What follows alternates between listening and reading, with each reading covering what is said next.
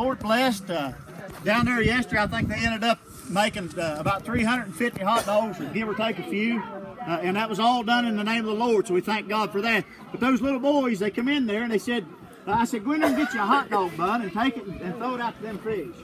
So they all come and they got them a, they got them a, a, hot dog bun and they begin to break it off and throw it to those fish. And I thought about the scripture in the book of Ecclesiastics, and Lord willing, that's where we want to read from this morning. We want to read in Ecclesiastics. How many of you know Solomon probably penned by the leadership of the Lord the book of Ecclesiastics? And all through the book of Solomon, he said it's all vanity. It's all vanity. What we have here today is priceless. What we have here today is priceless. And in Ecclesiastes, them little boys, they went over there, and maybe there's a girl or two over there, but they began chunking off those little pieces of bread and throwing them into the fish. You know, and, and Jesus said, Behold, he said, I'll make you fishers of men. Uh, how many of you here today, Dylan, I thank God for you, son. But, uh, you know, here a little bit, some of these kids and some of you has already wet a line. You've already went and you see some lines in the water. But how many of you could say this? Well, you know, Rob, I went fishing today. You did, Steve? Yeah, I just casted one time.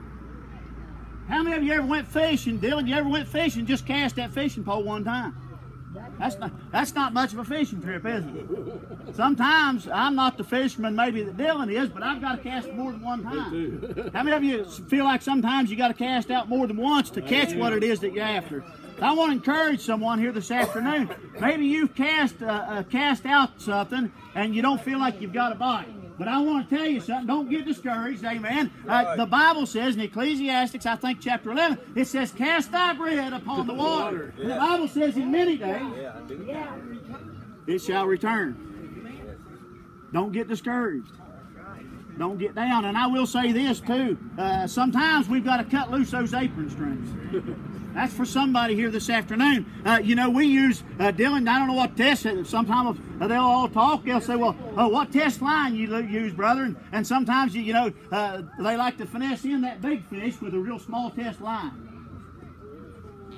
I want to encourage you here this afternoon. Uh, you know, you've heard said so many times, if you love something, let it go.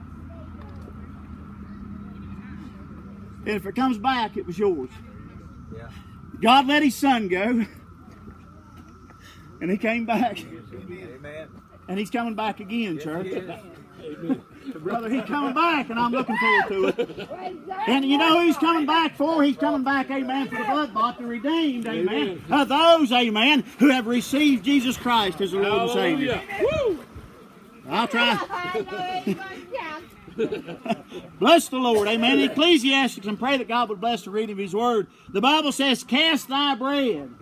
Cast thy bread. Well, uh, uh, brothers and sisters this afternoon, who's he talking to? He's talking to the body of Christ. Yeah. He's talking to us, amen. The blood bought, the born again, the redeemed. Uh, cast thy bread. Well, brother, what is the bread? Amen. Uh, the bread's the word, amen. Uh, Rob, that's the word of God, amen. Uh, listen to me. We ought to cast our bread upon the waters, amen. amen. Cast them out. I think about them young boys down there yesterday, amen. How they was taking those hot dog buns and throwing them out there. And little Hunter, bless his soul, he come over and he had a little, he had a little bit of a frown on his face. And I said, Hunter, what's wrong? Uh, he said, I got no more bread and they won't give me no more hot dog buns. he said, I got no more bread. A church, amen, we ought not run out of bread, amen. Listen, we ought to have plenty, amen, of the word uh, to go around, Larry, amen. Uh, listen, amen, it ought to dwell richly within our hearts. Yeah. Oh, if you love him this afternoon, say amen. amen. Here a little bit, I'm sure somebody will go out there and they'll cast something out there. Uh, what is this bread that is talking? You know, I want to encourage you too. Uh, this is something, amen, that's precious to these people. Amen. How many of you can say this afternoon the word is precious to you? Amen. Uh, the word's precious to me. And sometimes we got to take what's precious uh, to us and let it go. It says, Cast thy bread upon the waters, for thou shalt find it after many days. How many of you can say amen? Uh, sometimes we don't have the patience to receive what it is that God has for us to receive. But